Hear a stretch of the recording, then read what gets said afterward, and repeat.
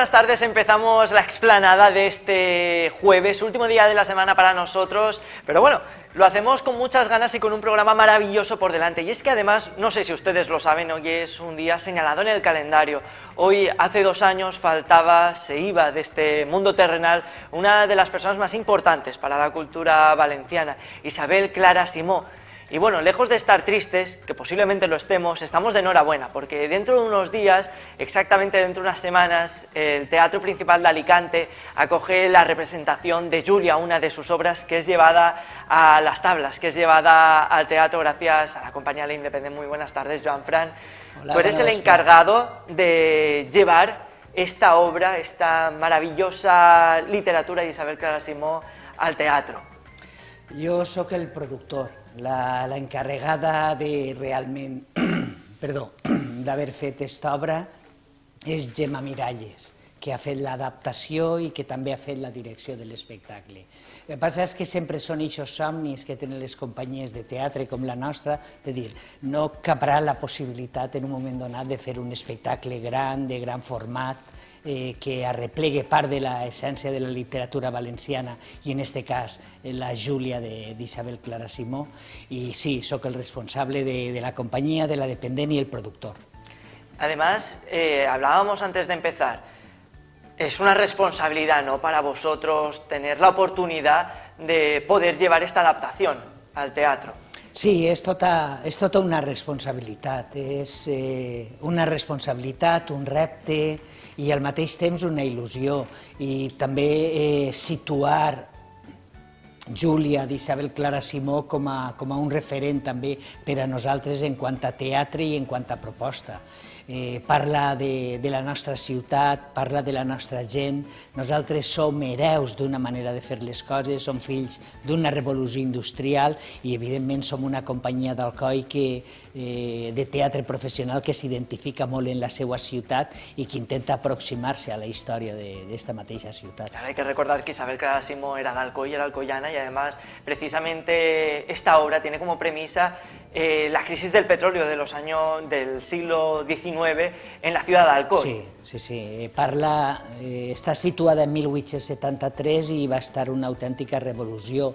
Eh, anem a dir que és la segon part de la revolució industrial.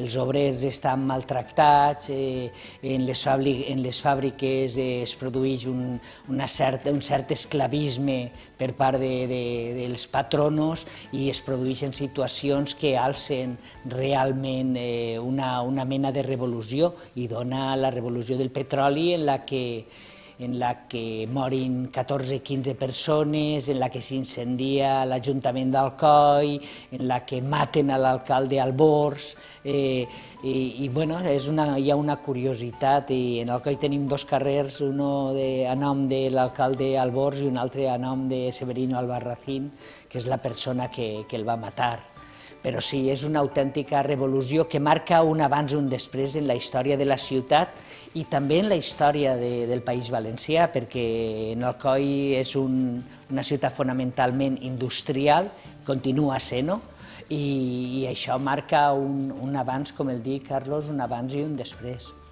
¿Cómo va a ser la puesta en escena? Porque el texto es rico en escenario y también muy complicado. Imagino que si decíamos que es un reto adaptar una novela de Isabel Carasimo al teatro, también lo es adaptar las escenografías.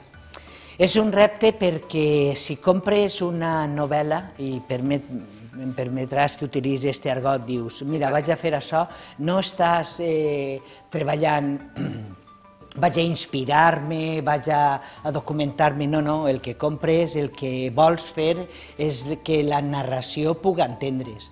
Aleshores has de, has de revitalitzar aquesta novel·la per a traspassar-la des de la literatura, que és purament narrativa, a un element dinàmic i en moviment com és el teatre. Buscar un element alegòric, que siga l'escenografia, que puga reflexar eh, el París de l'època, els ponts d'Alcoi, eh, que rememore la Torre Eiffel, perquè tot està en aquest mateix context, finals del segle XIX, i al mateix temps que un vestuari siga adequat per a, per a un temps i un context. I tot això ho aconsegueix Gemma fraccionant i estudiant molt, molt la novel·la. És l'única manera. I Gemma, com, com el dia abans, el que pretenia és que aquella novel·la que, que vam llegir ja feia molt de temps, que coneixíem el text, que el teníem molt trillat, sí, eh, si més no, eh, que poguérem també adaptar-lo a un espectacle que li interessara a la gent, que vegeren la, la transformació històrica d'una ciutat i el que li passa a una societat, perquè té molts angles i moltes arestes aquest espectacle. Hi ha una relació de lluita, hi ha una revolució, però hi ha també una relació d'amor, hi ha una història d'amor dins d'aquest espectacle i i jo crec que Isabel, en el seu moment, i Gemma això ho recolza, situa la dona en, eh, en un paper molt important dins d'esta narració.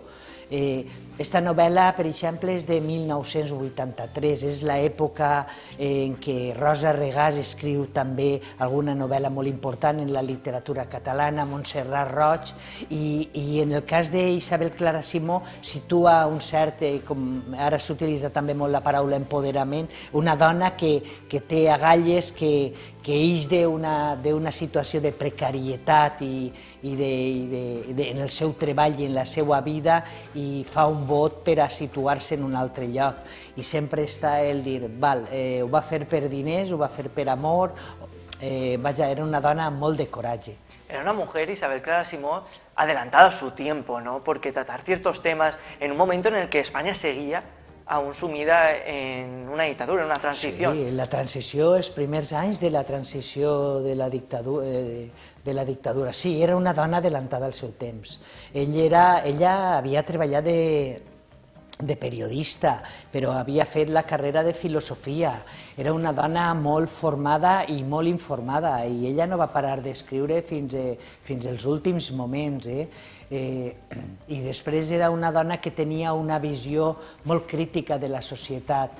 I ja no tan sols en Júlia, que, que situa una dona com a protagonista de la seva història en una situació, anem a dir, complexa, s'ha de casar amb un senyor, però no es casa per amor, eh, bueno, eh, eh, sinó en altres coses, en altres textos que ella ha escrit, perquè jo crec que és una gran autora de literatura, ella eh, s'anticipava al seu temps. Eh, nosaltres en 2000 i poc vam representar un espectacle que parlava del maltractament a les dones, d'un senyor major que, que mata la seva dona, eh, la maté perquè era mia. Eh, era un poc el resum d'aquest espectacle i quan acabava l'espectacle la gent no sabia si aplaudir perquè la interpretació de Pep Cortés havia estat meravellosa o si estaven aplaudint a un autèntic assassí, a una autèntica mala persona i a un home degenerat. Eh, i, I això era en el 2000, quan encara este problema de, dels assassinats, del femicidi que està produint en aquests moments, encara no estava tan, tan present als mitjans de comunicació, Eh, en la societat o en l'agenda política. És dir, que ella ja observava també, tenia un caràcter observador eh, intrínsec a la seva, a la seva tasca d'escriptora. I, además, eh, cuando hablamos de un teatro, quizás lo pasemos por alto, en una película parece que lo vemos más importante y es el papel que juega también la banda sonora, la música. En este caso contáis con Rafael Arnal, que os pondrá un poco esa música ¿no? para que también el espectador entre aún más si cabe en la historia. Totalment. Rafa Arnal és un dels grans compositors eh, que, tenim, que tenim així. És una persona que, que es va involucrar, ja havíem treballat amb ell diverses vegades i, i el que es pretenia és que en totes aquestes fàbriques que narra la nostra història, en tot aquest àmbit de la indústria, del textil, del paper, de la metal·lúrgia, sobretot del textil i del paper, es cantaven moltes cançons en les fàbriques. La gent cantava molt, ara ja no en les fàbriques... Sí, és raro, és raro. Escoltar cantar ni, en ningú treball. canta, però en aquella època es cantava molt, s'enjuntava molt la gent a cantar, també la situació d'ara no permet no que s'enjunte tanta gent, i Rafael eh, ha replegat moltes de les cançons de l'època per a donar un cos, un corpus musical a aquest espectacle i que estiga relacionat en, en època, en temps i context, i d'ahir hem tret moltíssimes de les cançons que són realment la banda sonora de l'espectacle, perquè hi havia una cosa que, que miralles, que la directora volia, que, eh, volia mantindre eh, a pesar de tot, i era que, que la narració avançara constantment. És dir, que, eh, que passara el que passara, hi hagueren cançons, hi hagueren diàlegs, però que la història que volia contar, eh, que estiguera sempre present, que no, que no s'aturara aquesta història, perquè volia mantindre aquest ritme narratiu que, tenia, que té, millor dit, la novel·la.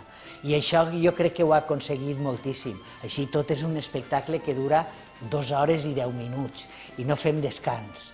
Vam estar eh, valorant si faríem un descans, però vam veure que potser si hagués sigut una mica més llarg, tècnicament, o millor dit, fisiològicament, potser haguérem de, de preparar un descans de 10-15 minuts, però vam veure que dues hores 10 minuts es podien continuar i després la gent ens ho ha agraït molt. Ens han dit, eh, a més es passa molt ràpidament perquè és una història que arranca en 1873, Júlia té 5 anys quan arranca aquesta història i finalitza en 1920, eh, una cosa així, i ha de passar d'un segle a un altre, però tota la història es veu molt ben traçada en, en aquest espectacle. És important fer cultura en València? És important fer obres de teatre en València? Per a nosaltres sí, és la nostra manera natural de fer-la. No... Hem fet espectacles en castellà, eh, vam fer una adaptació, i per, per una raó molt òbvia, vam fer una adaptació de Quijote, eh, que es deia Libérrimo Miguel, i era un espectacle en valencià en companyia d'una gran banda eh, en una gran banda de música d'Alcoi, eh, o vaig fer una, fa molt de temps una aproximació a, a la literatura d'Isabel Allende, tal vez Eva Luna, i era també en castellà, però per a nosaltres eh, és, és la manera natural com nosaltres produïm les coses. Eh, tot en, no resulta, no hi ha res impostat, és una manera de, de fer i, i jo crec que, que tots els actors que han participat en aquest espectacle també ho valoren així, tot l'equip. És un equip molt nombrós. En aquesta producció han treballat al voltant de 40 o 45 persones i després hi han 11 persones en escena. Aleshores, és una gent que també té un compromís envers la llengua eh, resultaria estrany també per a nosaltres fer a Isabel Clara Simó en castellà. Eh, fer-la en castellà. El que passa és que si, si es produirà la possibilitat, que no la, que no la desestimem, eh, Carlos? És dir, que podríem fer una adaptació al castellà i tenim també els drets per a poder-ho fer, eh, la podríem fer perquè tenim pobles d'Alacant o pobles de la València castellana més cap a l'interior que tenen teatres i fan programació en castellà. El que passa és que en el nostre modus de fer, la, la nostra manera de fer les coses, les coses ens eixen sempre en valencià perquè produïm, produïm així sempre. I també tindreu l'oportunitat de fer una radionovela, no?, Això és la idea. En això tenim en breu la primera reunió perquè a mi m'agradava molt aquesta possibilitat de, de poder transportar el text que havia escrit Gemma, que, que a banda de, de altre, també s'editarà en l'editorial Bromera pel mes, el, jo crec que el mes que ve tenen previst traure l'edició de la versió de Júlia. Eh, ells són els propietaris dels drets per a l'edició de, de la novel·la. És una novel·la que, que té igual 40 o 50 edicions, imagina't el que, el que suposa.